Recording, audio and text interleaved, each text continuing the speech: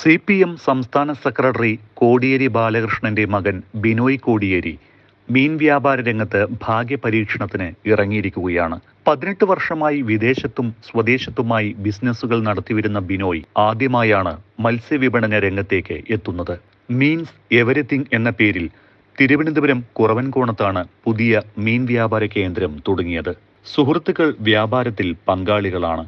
അച്ഛൻ കോടിയേരി ബാലകൃഷ്ണന്റെ സാന്നിധ്യത്തിൽ അമ്മ വിനോദിനിയാണ് സംരംഭം ഉദ്ഘാടനം ചെയ്തത്. അല്ല ഇന്ന് ആ, മീനെന്ന് പറയുമ്പോൾ മീനായാലും മീറ്റായാലും വെജിറ്റബിൾ ആയാലും റീറ്റെയിലിൽ വളരെയധികം ഡിമാൻഡുള്ളൊരു സാധനം തന്നെയാണ്. അപ്പോൾ ഈ ഈ ഒരു പ്രൊഡക്റ്റിന് ഈ മാർക്കറ്റിൽ ഒരു ഡിമാൻഡുണ്ട്. അതുകൊണ്ടാണ് ഫിഷ് എന്നുള്ള ഒരു മേഖലയിലോട്ട് കടന്നത്. അല്ല ഞാൻ ആദ്യമേ ബിസിനസ് ചെയ്യുന്ന ഒരാളാണ്. അപ്പോൾ അതുകൊണ്ട് തന്നെ ഞാൻ ചെയ്യുന്ന ബിസിനസ്സിലൊന്നും ഇതുവരെ അച്ഛനോ എന്റെ അമ്മയോ എതിരെ നിന്നിട്ടില്ല. പ്രോത്സാഹിപ്പിക്കുകയേ ചെയ്തിട്ടുള്ളൂ. പിന്നെ ഈ ഒരു ബിസിനസ് ചെയ്യുമ്പം എന്റെ കൂടെ എന്റെ ഒരു പാർട്ട്ണർ കൂടി ഉണ്ടായിരുന്നു. അദ്ദേഹമാണ് ഫിഷ് എന്ന് പറയുന്ന ഒരു ആശയം നമ്മളെ മുന്നിലോട്ട് വെച്ചത്. എന്റെ ഒരു സുഹൃത്ത് കൊട്ടാരക്കരയുള്ള അജിത്ത് എന്ന് പറയുന്ന ഒരു സുഹൃത്താണ്. അദ്ദേഹം കൂടി ചേർന്നുകൊണ്ടാണ് ഈ ഒരു സംരംഭം ഞാൻ. അല്ല നമ്മൾക്ക് എപ്പോഴും സാധാരണക്കാർക്ക് നല്ല ഫിഷ് കൊടുക്കുക എന്നുള്ളൊരു ഉദ്ദേശത്തോടെയാണ് ഈ റീറ്റെയിൽ ചെയിൻ സ്റ്റാർട്ട് ചെയ്യാൻ ഉദ്ദേശിക്കുന്നത്.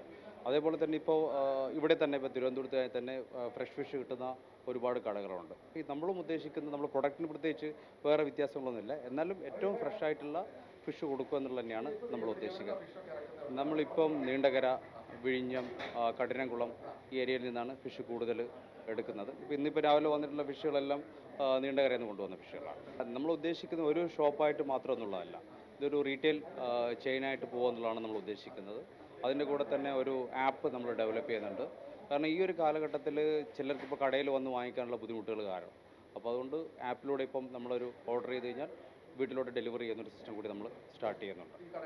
ഈ കടയുടെ ഭാഗമായിട്ട്.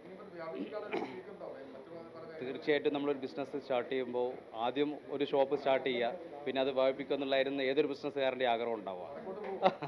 പോകണം എന്നുള്ളതാണ് ആഗ്രഹം. അതെ. തലശ്ശേരിയിലും ഒരു കട വേണം. അത് ഇപ്പോൾ നമ്മൾ തിരുവനന്തപുരത്ത് സ്റ്റാർട്ട് ചെയ്തു. തിരുവനന്തപുരം ഇപ്പം ഇങ്ങനെ അറ്റത്ത് നിൽക്കുന്ന ഒരു ജില്ലയാണ്. ഇനി വടക്കേ ഭാഗത്ത് ഏറ്റവും അറ്റത്ത് നിൽക്കുന്ന കാസർഗോഡ് വരെ അതെ അതെ. അവിടെ വരെ വ്യാപിപ്പിക്കണം എന്നുള്ളതാണ് നമ്മുടെ ആഗ്രഹം.